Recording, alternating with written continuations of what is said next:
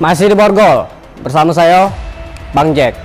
Nah, kali ini ada penumpang bus dari Pekanbaru menuju Jambi ditahan kepolisian karena membawa 2 kg sabu yang katanya bakal direncanakan diedarkan di wilayah Jambi ini.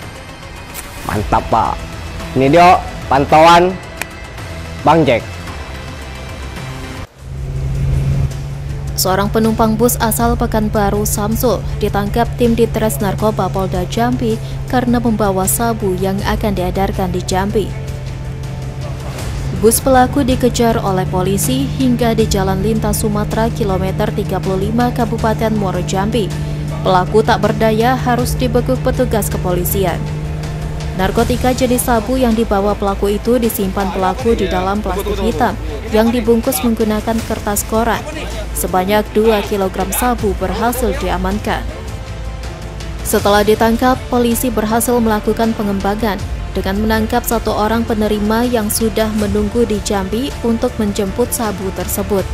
Ia adalah Riyaji Akbar yang ditangkap di kawasan Broni, Kelurahan Solok Sipin, Kecamatan Danau Sipin.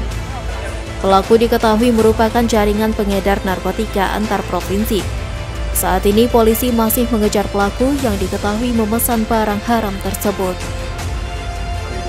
Yang 2 kilo sampai saat ini kami masih melakukan pengembangan untuk yang sudah berhasil kami buka baru dua.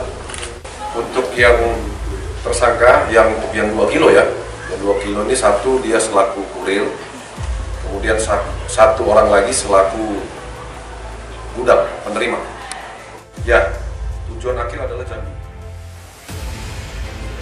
Atas perbuatannya pelaku dijerat pasal 114 ayat 2 dan pasal 112 ayat 2, junto pasal 132 ayat 1 huruf A, Undang-Undang RI nomor 35 tahun 2009 tentang narkotika dengan ancaman hukuman 20 tahun penjara. Di Jaya, Jack TV melaporkan.